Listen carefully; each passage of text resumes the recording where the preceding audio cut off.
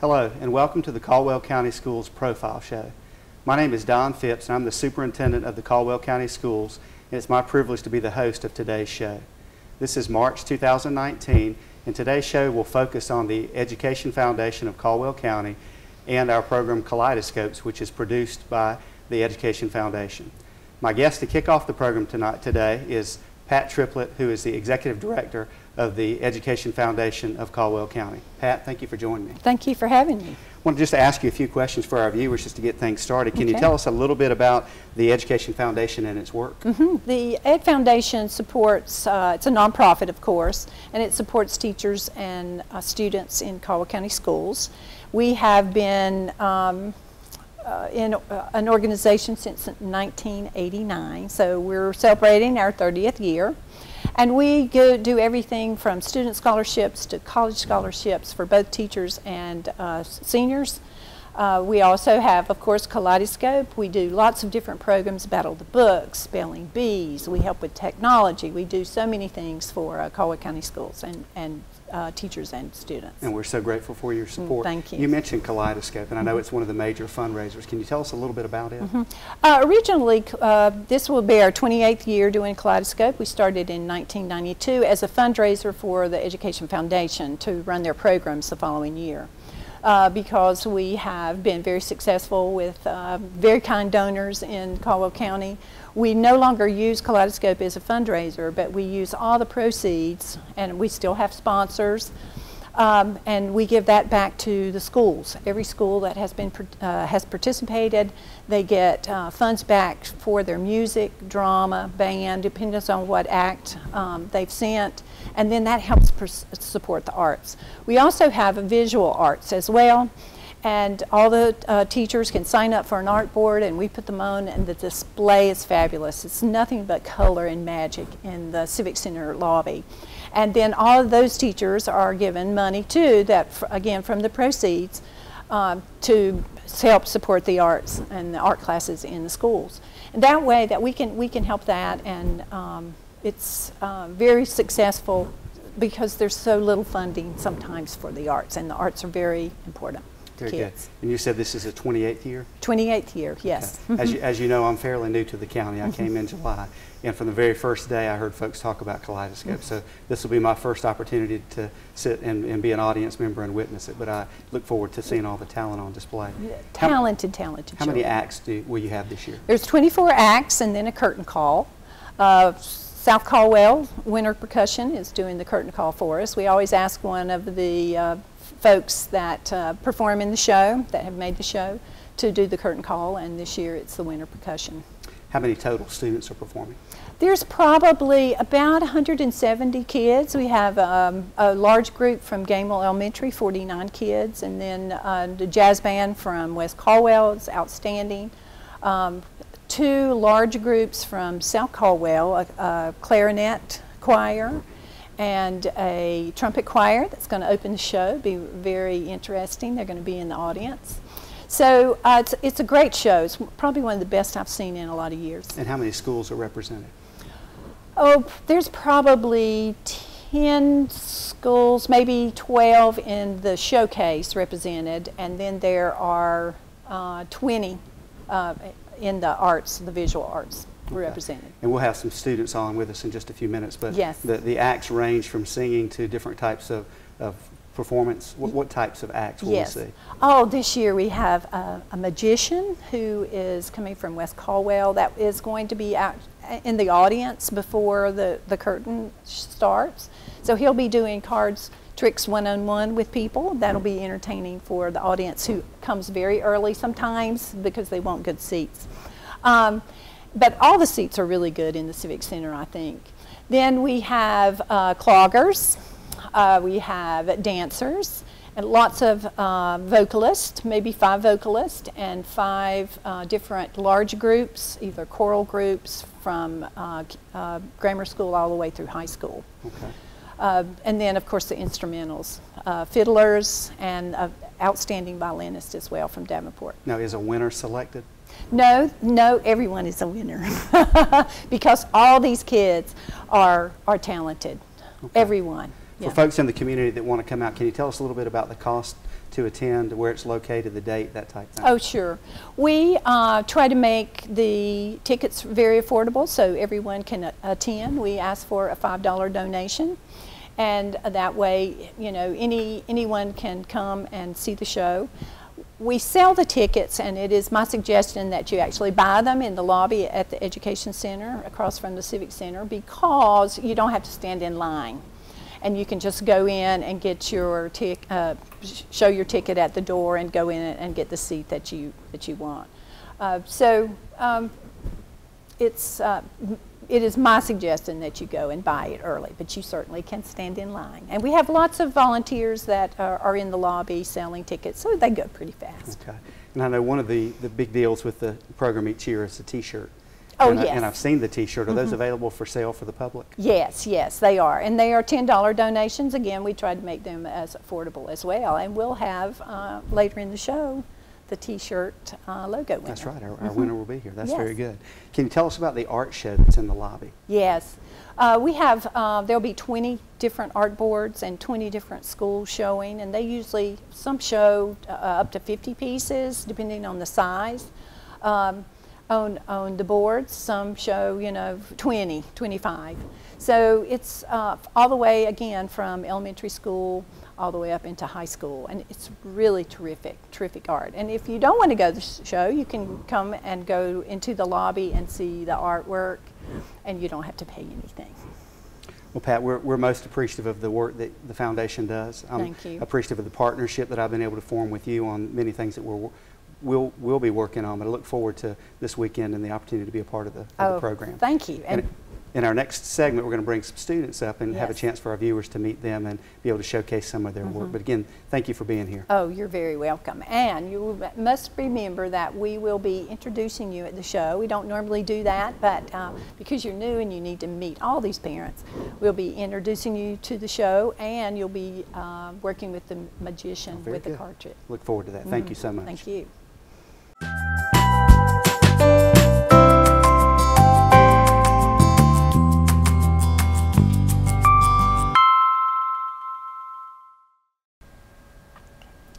We're excited about this segment as we have two of our students that will be uh, involved in Kaleidoscope with us. We have Carson Webb and we have Faith Brown. And I'd like to begin with Faith. Faith, if you'll tell us what school you go to and what grade you're in. I'm in fifth grade in Hudson Elementary. So you're a fifth grader at Hudson Elementary. Welcome. We're glad you're here with us. I want to talk with you today because you actually are an artist and your artwork has been selected to be a part of Kaleidoscope this year. Can you tell us what inspired you or where you got your idea from for the artwork? Well, I got it from my art teacher because she, she likes to like do art with us around the school and all. Okay. And what materials did you use when you created this artwork? Paper, um, paint, paint brushes, and black paint. Okay. What's, the, what's your favorite part of the artwork? Everything. Everything about it? Okay. And, and why did you choose specific colors? And, and as I'm saying that, you're wearing the shirt actually that's the T-shirt for Kaleidoscope, and it features your artwork. If you want to show that to the to the camera, they can take a look at that. It's beautiful, beautiful work. Why did you choose the specific colors that are in that artwork? Because it brings out the um, art into the painting, so yeah. Okay. And as an artist, as you are now, how do you hope people react when they see your artwork, whether it's this It's- artwork or something else that you've created? Um, they inspired so they can paint and have hopes they can get in. Okay. And how does it feel to see your artwork on the T-shirts and the tickets and in the spotlight for Kaleidoscope? Happy. Make you excited? You know, that, that'll be on that shirt long after this year is over, and your name will always be associated with it. You did a great job. Thank we're, you. We're glad you're here with us today. And Carson is here. Carson's actually performing. Carson, tell us where you go to school and what grade you are. Um, I go to Davenport A plus school, and I'm in fifth grade. Okay? And what will you be doing in Kaleidoscope? Um, I will be singing "You Say" by Lauren Daigle. Okay? Do you want to sing a few bars Maybe. or lines? I guess so. Do you want me to stand up? Go ahead. Okay. You say I am loved when I can't feel a thing. You say I am strong when I think I am weak. And you say I am held when I am falling short and when I don't belong. Oh, you say I am yours. Very good. Look forward to hearing the, the full version of that when we have the program on Saturday night. Thank you. Very good. Now, you've done this before, right? Yes. Wh- wh- How, how many times have you been in the program? Um, three times. Okay. Do you remember what you sang the first two times? Mm, well, the second time I sang you- um, When I Was Your Man by Bruno Mars. Um, I can't quite remember the first one, but Well, now that you're a veteran and you've done it before, is being in the program now the third year, does it feel different than it did the first two years? um, yeah, it does. In what ways? Well, it feels different because there's not really. It's hard to put it in words, but I can't really think of a way. You, you know what to expect It- this time around, Yes, right? I know what to expect. Very good. Now, how long have you been performing? Um, since I was, um, I can't remember, but it's been seven years. Okay. Where, what other places do you sing and perform? Um, I sing at my church and I sing at other churches, and I usually go. I just went to a mission. I just went to a home, um, a children's home, a few day, a few days ago. I think last weekend, and I sang a few songs. Okay. What are you most looking forward to about being on the show? Um, I'm looking forward to have a lot of applause, and I'm looking forward to not being nervous. I'm, I don't want to be nervous. Is what I don't want to be. I think you'll do just fine. Both of you are wonderful students, and, and we love the way that you're representing the Caldwell County Schools. And I want to thank you for being here, and hope you do have a hope great success for you. Uh, And, and we look forward to seeing your artwork all over town, I'm sure, on T-shirts and things like that. So congratulations to you both. In our next segment, we're going to invite out two high school students. They're going to share some information, and, and we'll have some questions very similar for them. But again, thank you all for joining us. Thank you.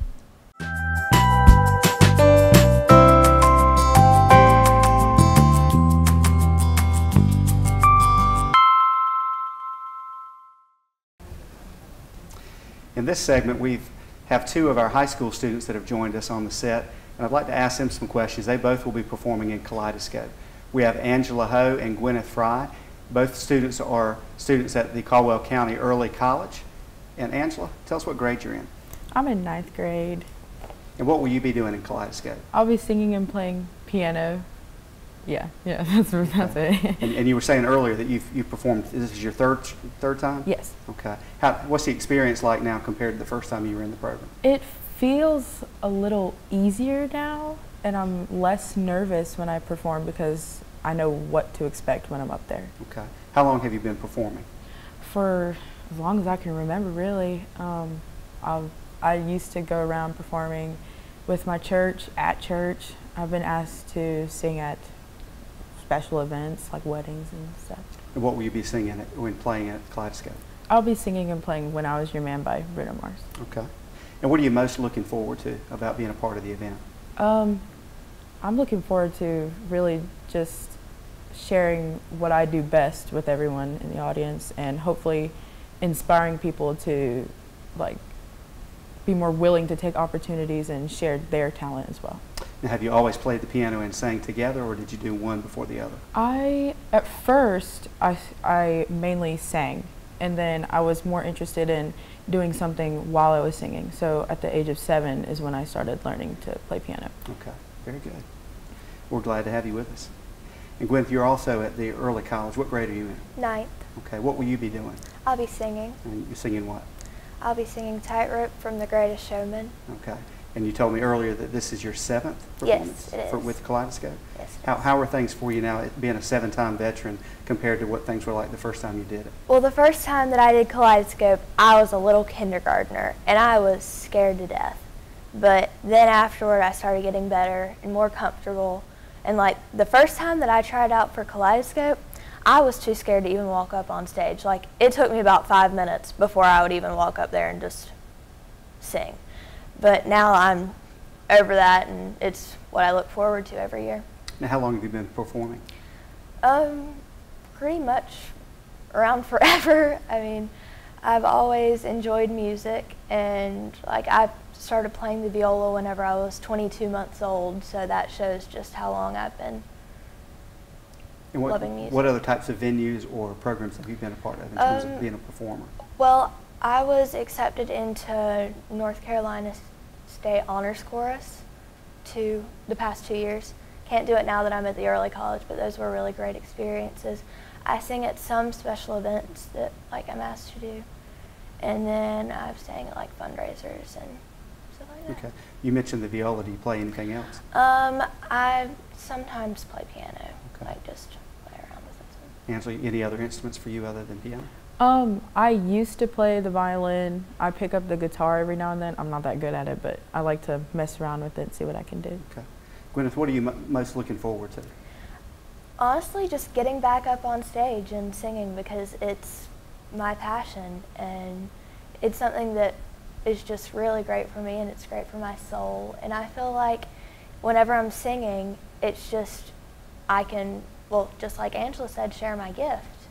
And it makes people happy and experience emotion. And I think that anything that I can do to help others is great. What is the social aspect like th- with the two of you being high school students and being around the other performers and in the room waiting to go on? And, and I understand that it's a live feed where you all can see what's happening in the program, but what is the social aspect like? I absolutely love sitting up there because they're just a bunch of people who have the same opinions as, or like, you all have a common thing that you like, which is music or some kind of art.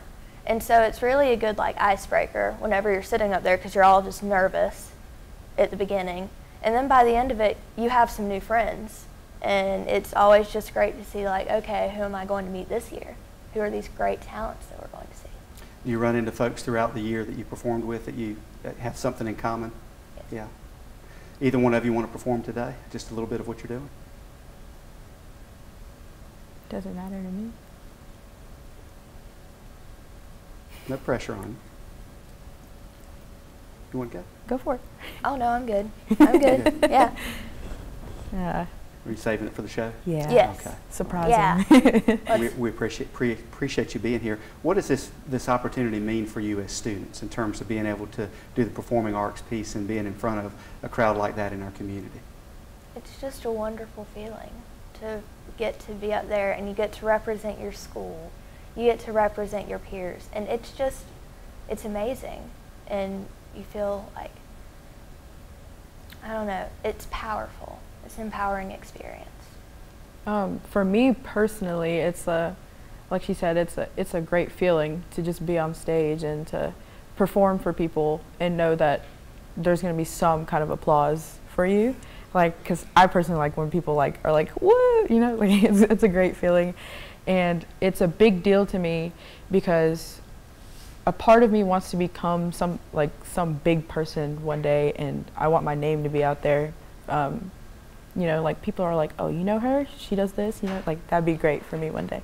That's, that's very good. The 24 acts, what do you want the audience members to take away when they leave? They've seen students from our school system performing a, a great deal of talent, but what do you hope they talk about the next day when they talk about what they saw and heard that night?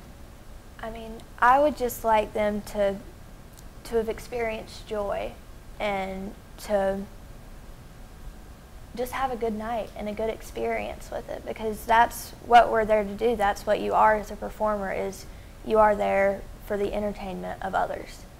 And I mean, that's sort of my main goal whenever I sing is did I make somebody's day? Did I make somebody smile? Did I inspire them to want to do something?